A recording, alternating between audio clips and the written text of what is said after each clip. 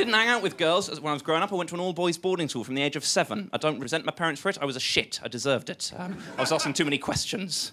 Questions no parent is prepared to answer. What happens to our bodies after we die? How can a benevolent God allow suffering? Why does Home Alone 3 have a different child? Too many questions.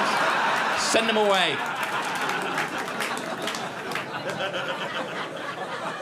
And I had a good time, but all it means is you don't you don't grow up, you don't meet, I didn't sort of know what a woman really looked like, apart from the ones in my family and the ones in Nuts magazine. No overlap. Um, you go to university, and I had sort of female friends there, and they always told me that I would make a great boyfriend. My second least favourite compliment of them all. Um, after being told by your computer that you have excellent password strength. It's meaningless. The thrill wears off.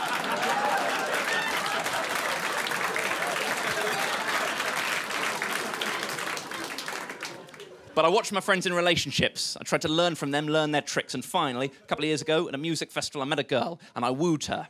Not like some modern monster with an app, in the old fashioned way. Sat next to her around a fireplace, plied her with booze, waited for everyone else to leave. like Casanova himself. We've been going out a while now. We recently celebrated our two year um, anniversary. Needless to say, it went pretty well, yes. Mm. Dinner, card, hanky panky, contract renewal. Um, um, put a lot of effort into the card. I'm a good card writer, put a lot of multi paragraph affair. Didn't want to end up like my friend Ben. My friend Ben, he'd been going out with his girlfriend Alice for about three years, and then he let himself down with a Valentine's Day card. I'll read it for you because it's one of my favourite things of all time. he just written, Dear Alice, Happy Valentine's Day, love Ben. That's fine, no one's querying the minimalist style. But then he'd really stuck the knife in underneath by writing PS and then crossing it out. Oh! Is there anything more brutal in this world than the withdrawn addendum? Dear Alice, light of my life, sailor of my ship, I have nothing left to say to you. Oh, no, wait, uh, no, still nothing. it was a false alarm.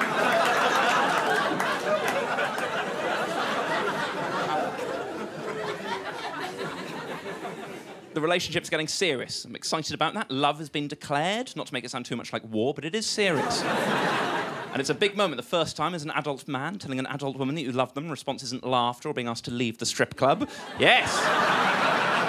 I've not made that up for your amusement there, that's another true story. An Eastern European lad's holiday I should not have been invited on. Fundamentally misunderstood the strip club etiquette. But I've moved on, and so I'm sure has Elena. Um, um, I want to stay in the relationship, I think. Uh, we're spending a lot of time together. Um, no, no, it's, it's, it's, very, very important to me. But you don't want to sort of overdo obviously, have too much sort of uh, exposure to the other person and sort of kill that sort of new love. I don't want this to be halloumi all over again. I'm sure I'm not the only person here to have had a sort of midlife halloumi epiphany and then fatally overdosed.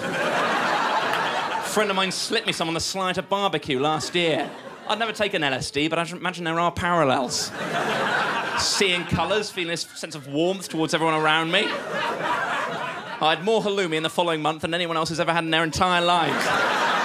Going into any shop to buy it. I was trying to sort of restart the Greek economy on my own cheese-based terms. Taking it home to cook it and then eating it all raw before the pan was even hot. Just couldn't restrain myself. Flatmate comes home, I'm on the sofa, naked but for my boxer shorts, halloumi crumbs all over my face and torso. Going, it's just so goddamn squeaky. I want to stay in the relationship. I, I, I, I, love my girlfriend and I fear being alone. I like to think I'd be cool in a breakup scenario, but then I also used to think I'd be cool in a mugging scenario.